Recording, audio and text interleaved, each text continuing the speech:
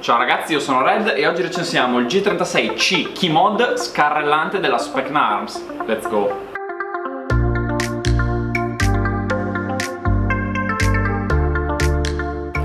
Come detto la casa produttrice di questo fucile è la Specna Arms che lancia con questo fucile la sua serie SAG ovvero una serie di repliche estremamente curate, estremamente ben realizzate che cercano di emulare al massimo la controparte reale. Questa replica, come la controparte originale, è realizzata in polimero resistente, metallo e nelle parti più soggette a urti e quindi più vulnerabili in acciaio. Tra le parti realizzate in acciaio ci sono dunque viti, spinotti e attacchi cinghia. È dotato di slitte RIS 22 mm in alto e in basso e svariati attacchi key mod, tre in particolare per lato, qui, qui e qui, in modo tale da poter aggiungere una serie di accessori a vostro piacimento. Ovviamente come tutti i G36 all'interno del paramano si pone la batteria che per ovvi motivi non può stare nel calcio. Va bene, passiamo adesso alle caratteristiche interne del fucile, entriamogli dentro, vediamo, sbraniamole e scopriamo cosa c'è al suo interno.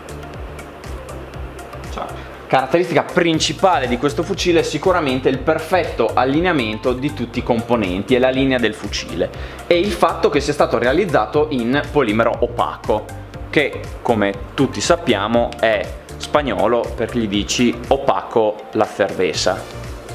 Gli elementi più importanti del fucile sono tenuti insieme, attaccati quindi al corpo principale, con dei perni. Questo permette di andare a sostituire semplicemente vari componenti del fucile togliendo il perno e sostituendolo con l'elemento che vogliamo rimpiazzare. Per esempio per quanto riguarda il ricevitore dei caricatori, questo è da G36 ma è possibile sostituirlo rimuovendo questo perno qui e metterne uno da caricatore da M4 per esempio. Stessa cosa si può fare con il calcio e per il paramano. Il castello del fucile è in polimero solido e cosa molto particolare vi è presente un numero di serie unico per ogni fucile quindi ogni fucile di questa serie quindi ogni G36C Key Mode avrà un numero di serie apposta dedicato sempre sul castello troviamo il selettore di fuoco con ovviamente sicura colpo singolo raffica è ambidestro quindi lo troverete anche sull'altra parte del fucile per i nostri amici manciuini e i loghi ovviamente della casa produttrice in questo caso la Spec Arms il calcio è ovviamente abbattibile in modo da rendere il fucile molto più compatto, soprattutto per situazioni di CQB. La parte superiore del fucile invece presenta maniglione per il trasporto, tacche di mira fisse regolabili e slitta RIS 22 mm come vi ho già detto. La canna invece che in metallo presenta una filettatura da 14 mm CV e spegnifiamma montato ovviamente, presente in scatola. Il cuore della replica invece è costituito da un gear lipo Ready V3 con microconnettore installato. La replica è completamente compatibile ovviamente con le batterie LiPo e Life. La replica presenta un sistema di cambio molla rapido, Enter and Convert. Per ottenere l'accesso al gear tutto quello che è necessario fare è rimuovere questo perno qui, chiudere il calcio permetterà quindi di rimuovere questo sportellino e accedere direttamente alla molla. Grazie a questo sistema è ovviamente possibile rimuovere, estrarre e cambiare la molla estremamente velocemente. È possibile dunque adeguare rapidamente la potenza della replica alle condizioni previste dal campo da gioco e alle diverse situazioni che potreste incontrare. Tutto questo ovviamente senza bisogno di un'officina o di particolari attrezzi, in quanto vi basterà rimuovere questo perno, potete aiutarvi con un cacciavite o con quello che volete e dopo sarete pronti a modificare la molla e richiudere tutto in maniera semplice e veloce. Il fucile monta infatti un sistema EBB, Electric Blowback, che sta tradotto per sistema di scarrellamento elettrico. Questo ovviamente permette all'otturatore di muoversi avanti e indietro simulando il movimento di quello vero, permettendo quindi a questo modello di avvicinarsi sempre di più non solo da un punto di vista puramente estetico ma anche funzionale alla controparte reale.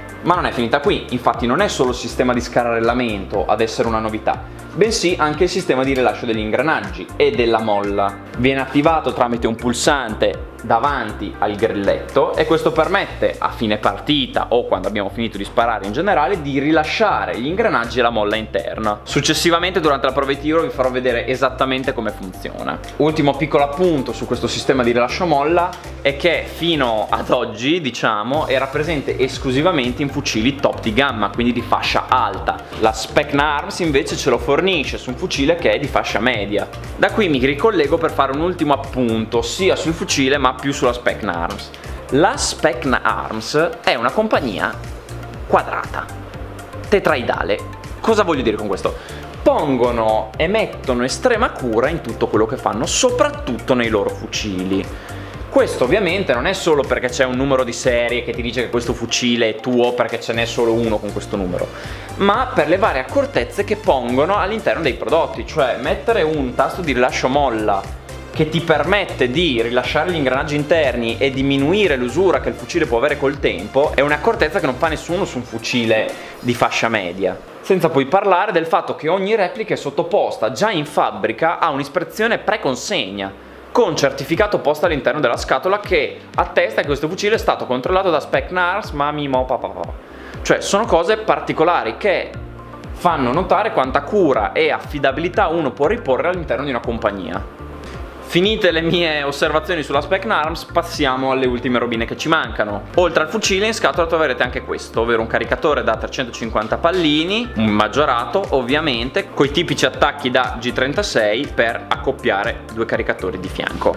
Va bene, passiamo adesso alla prova di tiro. Let's go! Come detto per fare il cambio molla è estremamente facile, basta rimuovere questo perno che io per comodità ho già allentato, lo rimuovete, chiudete il calcio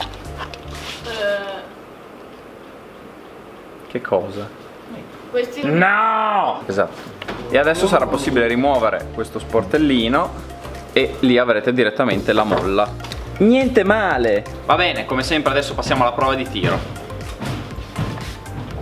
Singolo.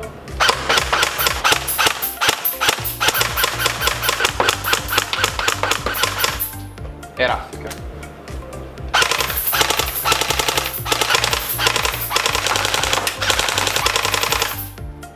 Niente male. Ok, adesso che abbiamo finito di sparare Potete vedere che abbiamo attaccato le nostre 7.4 Funzionerebbe anche con le 7.4 rimosse Ve lo farò vedere. Abbiamo lo sportello semiaperto La molla, come potete vedere, è tirata. Se noi andiamo a premere questo tastino qui Che è quello del rilascio Giusto davanti al grilletto Rilasciamo tutto. Se andiamo infatti a sparare Questo rimarrà nuovamente aperto Nel momento nel quale rimuoviamo le nostre lipo e premiamo, funziona lo stesso e va a chiudere tutto. Ora che avete visto anche come spara direi che possiamo passare alle conclusioni finali. Questo è un fucile estremamente valido, è stato il mio secondo fucile da soft air e non ha mai avuto bisogno anche dopo anni di controlli, ispezioni, non ha mai avuto malfunzionamenti. Questo significa che anche se sarete un po' più duri, un po' più, come dire, burberi col vostro fucile, non avrete problemi di nessun tipo sempre che non lo usiate come clava, in quel caso non posso farci niente. La sensazione che dà sparare con questo, ma anche il suono che fa in campo soprattutto, mi gasa, mi gasa parecchio, sarò sincero, ed è effettivamente molto ben realizzato e, ribadisco, per essere un fucile di fascia media eh, non è da sottovalutare, ma soprattutto non è nemmeno da trascurare quando si pensa di fare l'acquisto è estremamente customizzabile non solo grazie ai vari attacchi per slitta key mod ma anche per i perni come vi ho detto che permettono di rimuovere determinati elementi del fucile per sostituirli. Volete sostituire il paramano perché questo non vi piace lo volete in polimero opaco? Togliete questo perno ed è fatto. Volete metterci un calcio di forma diversa perché non si adatta bene al vostro braccio alla vostra spalla l'ho fatto in due secondi. Stessa cosa per il ricevitore dei caricatori. Io sul mio ho montato uno da M4 perché esteticamente mi piace di più ma ci vogliono due secondi basta rimuovere. Il perno, cambiate l'attacco e funziona alla perfezione anche con dei caricatori per cui effettivamente non è nato perché sono quelli da M4 in generale un fucile ad alte prestazioni. È estremamente preciso anche senza una canna di precisione ma con la canna di fabbrica è estremamente customizzabile, anche abbastanza intuitivo, sia mettersi in modalità e in posizione di fuoco che spararci, non è un fucile complicato o difficile da utilizzare. Questo è tutto quello che ho da dirvi su questo fucile. Se avete dubbi, perplessità, vi aspettiamo nei commenti o direttamente in negozio. Se volete venire a provarlo, tastarlo, massaggiarlo, sempre in negozio ci trovate a braccia aperte. Qui da Red è tutto e noi ci vediamo a un prossimo video. Alleluia!